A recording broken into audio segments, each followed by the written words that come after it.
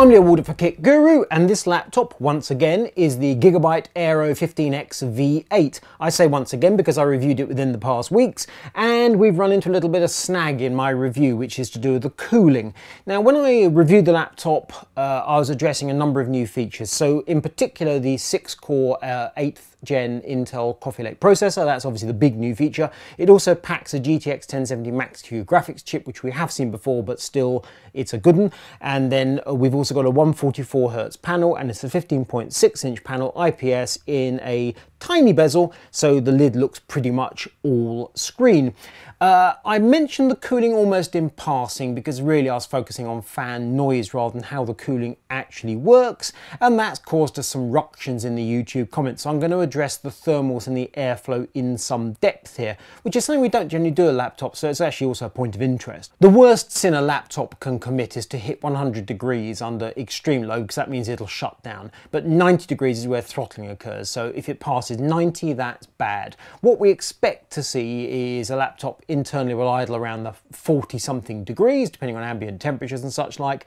Under extreme load, and I'm talking AIDA 64 type extreme load, you will expect it to go up to 80 something, but it'll fall shy of the 90, and that's all that really matters. Uh, then, then the trade off from that is how uh, much the fans have to ramp up to keep the chips under control. Uh, so, as long as it's shy of 90 and the noise isn't massively excessive, I, I wouldn't like to say I don't care how it behaves, but it's not really that important. As long as it works and it works correctly, we're happy. And ideally, it's quiet with it. With this laptop, we've got two chips that require cooling. We've got the CPU and the GPU. They're located in the center. We've got two coolers. They're out in the outer corners. The easiest thing is to pull off the bottom cover and just show you what's going on inside. With the laptop flipped over, we can see the uh, cooling vents. Ignore these stickers, I'll explain those shortly. So I remove this small handful of Torx screws and I take off the cover. Uh, it's worth pointing out these two mesh grills here are not part of the cooling system, they are over the two speakers. So we've got two smallish vents and one great big vent in the middle. We pull off the cover it has no reflective uh, material inside. You often find bits of foil and such like inside these covers, none here, just the mesh uh, grills for the uh, airflow. And you will note there are two cooling fans. So we've got the CPU, the GPU, two heat pipes going across. Obviously heat comes from the chips, goes through the heat pipes to the cooling fans, uh, which line up with these intakes here which means that this uh, great big opening in the center is something of a puzzle and then the heat is dispersed, let's just say that for the time being. And that's pretty much the end of the story. As to where the heat goes, well, now that is part of the question. And this is actually where I managed to trip over my words something horrible during the review. Because as you will see, let's just take that cover off the battery and hold it in place because it's loose. There are no uh, intakes or exhausts on this side or on this side. And at the back, you've got the uh, hinge of the screen in the way, so there's nothing on the back except there is. If you open the laptop, holding the battery in place, there's these vents along here, and we'll ignore these stickers as well because they're part of the uh, same thing. During the course of the review, I run various benchmarks, games, Cinebench and so on, do a battery rundown test, and I also check temperatures of the CPU and the GPU. To do that, I check the ambient temperature, which in this studio is about 17. In my regular office, it's rather warmer at 21. Uh, I've got some monitoring software, HW Monitor GPU-Z on the sensor panel, and then over here I've got AIDA64, which will stress the internal components. How you stress your components, uh, that's that's always a perennial question. Uh, if you're doing really hardcore stuff such as Prime, uh, if you're uh, using AVX and such like, that'll stress the hardware more sternly than, say, a games test. AIDA 64, you can stress both the CPU and the GPU simultaneously. In a sense, it's unfair. It's also a worst case scenario, but it's like a practical worst case scenario. Uh, and that gives you numbers. So in this instance, the laptop will idle around the 40-ish mark internally, or maybe mid 40s, and it'll run in the low 80s 80s under extreme load, job done. Get some screen grabs to prove the point, do a graph, we're finished. If you want to really dress it up, you can do some thermal imaging. So this FLIR 1 camera you'll be familiar with because a bunch of people use them in reviews. They're relatively cheap. I think this cost me about £200 some little while ago and it plugs into my old uh, uh, Nexus 5 phone. So uh, there we go. Lovely images. And the clever thing with the FLIR 1, part of the reason it's so popular is it combines both uh, visible light and also IR. So you get two images overlaid, so you can see the laptop on the screen, you can also see the hotspots. It's not just like this blurry coloured map. The downside of the FLIR one, there are a couple of downsides. One is the, the color gradients, they, they look really extreme. It looks like you know, parts of it are baking hot and parts of it are icy cold, and, and it's not so. Uh, this laptop's just idling at the moment. The range of temperatures is going to be between 20 on the cooler parts of the keyboard and 30 something towards the hotter parts. If I put my hand up to it, as I am officially a mammal, uh, it's going to go up to 34 or 35 but it looks far hotter than that and that can be deceptive. So the differential between uh, coolish parts and warmish parts looks like really icy cold and really burning hot and that's just not so but it looks pretty and that's why FLIR 1 is quite appealing to reviewers.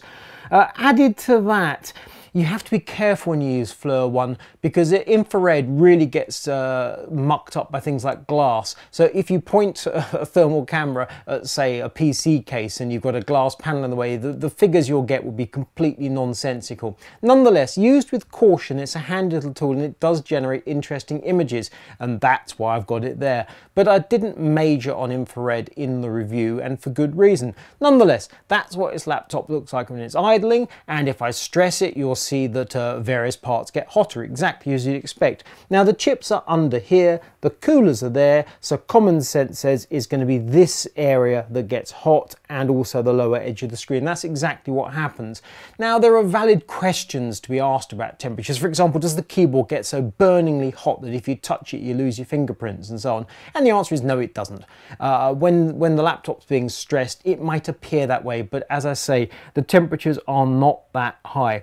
Uh, uh, while the chips inside are 80 something degree, well the CPU is 80 something, the GPU actually is 74. Various parts of the laptop, uh, like here for example, 48 degrees. Now if you were to hold your fingers to that point for some considerable period of time, perhaps it would get uncomfortable, but why would you do that? Uh, it's not a natural way to use the laptop. So as I say, you need to proceed with caution. It's also worth pointing out that when you look at say the underside of the laptop, you're looking directly at that great big vent which is directly over the CPU and the GPU. So in effect, you're looking directly at the chips or the back of the chips. You're looking at you know, the territory of the chips, so it looks smoking hot. Uh, but what it doesn't tell you when you do this uh, analysis, it doesn't give you any clue of actually how the air is flowing through the laptop. Now, in a sense, that's an irrelevance. But as I raised the point about airflow and cooling noise and fans and such like in the review, I've made a rod my own back. So it's worth investigating exactly what is going on with airflow in this laptop uh, besides the question of temperatures. How does the air flow through? Where does it come from? Where does it go to? While I remember those numbers on those little stickers are targets for when I was using the FLIR infrared camera to make sure I knew where I was pointing at when I took each of the spot measurements rather than saying the point behind the keyboard or the point above the screen. I thought, right, if I call it four or five, then I'll know where the heck I'm talking about. So what on earth is this monstrosity? This is a thing I've sort of gashed up so I can see what is going on with airflow because it is surprising how little air is actually moving around even when the fans are howling away at maximum speed as they currently are. So what we've got is quite simply a frame that's suspending some strips of paper. I tried it with bits of knitting wool and such like, didn't move. It took some paper because of the uh, surface area to actually uh, respond. So we've got the underside of the laptop, the fans are howling away, and as the animation that Gigabyte put on their website when this laptop launched, you'll appreciate I didn't see the animation until the product had gone live, uh, we can clearly see, according to Gigabyte, the fans are sucking in air through the three vents on the underside and expelling the air through the vents on the sort of top surface at the back in front of the screen. So these three vents here are clearly intake. I'm going to stop talking so my breath doesn't move the paper and I'm going to simply move the paper towards the vents and you can see what you think is going on.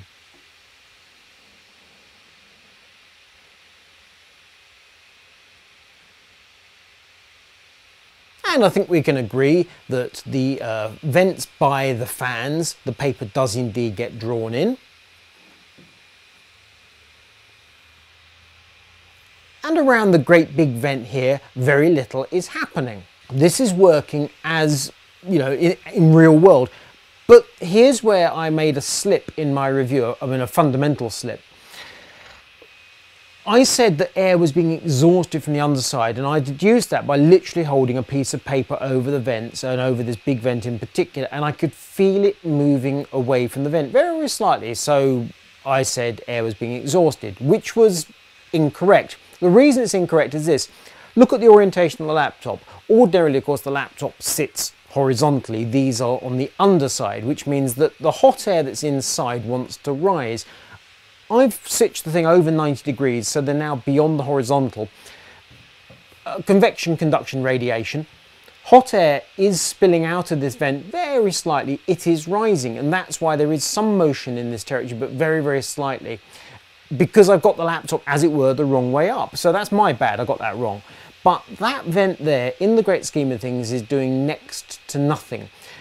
My view, and this is purely a view, I'm waiting to hear back from Gigabyte, is that quite clearly these are the intakes for the fans. This is uh, really just like disaster relief. In the event you put the laptop down on soft furnishings or something, or indeed your legs, you're always going to get air flowing through the chassis on the intake. You can't simply block these two intakes and starve the laptop of cooling air. That great big vent will allow air to flow.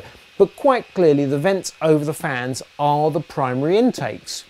That's the intake side. What about the exhaust? I need the power cord connected to run the laptop in a stress test. I can't do it in this instance because it will interfere with my uh, Frankenstein's frame. So instead I'm just going to use the function keys to run the fans at full blast now, which means that the uh, air that's actually being expelled is cold air rather than hot air. It's close enough to what happens in the real world, but it's not exactly the same as, you know, hot air rises. This is being purely blown by the fans. Nonetheless, it'll do for this test. I'm going to hold the laptop up, I'll stop talking so my breath doesn't play a part, and I'll move it towards the paper as before.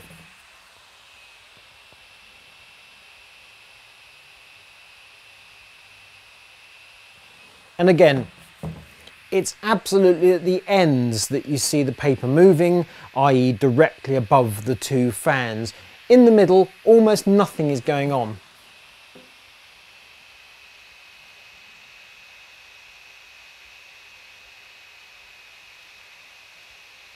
And because the air is going up, directly up the screen, you're getting a kind of a motion going on where the paper's sucked into it and is also shimmering around somewhat.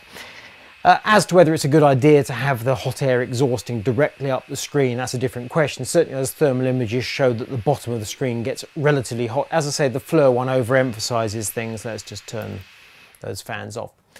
And let's get this out of the way. Uh, so my initial review in terms of where the airflow goes, not entirely correct, that's for certain. On the other hand, I'm going to say that uh, gigabyte animation that shows air drafting in the bottom and blowing out, I don't think that's entirely right either. All the airflow is going on around the two fans. Having said all that, going back to the original review, temperatures of the CPU and the GPU are entirely acceptable. As to whether or not you think it's a good idea to have the vents on the underside, and then whether you put it on a table or on your legs or on soft furnishings or whatever, that's entirely a matter for you. I'm not best pleased by the idea, but as I said in the review, it's a very slender chassis. If Gigabyte had the air coming in the sides and exhausting to the rear in the usual way, the air would be passing through some tiny channels and it's bound to be even noisier. It's a trade-off. It's a really slender laptop it's got some really powerful silicon inside, not GTX 1080 type powerful and desktop CPU powerful, but powerful enough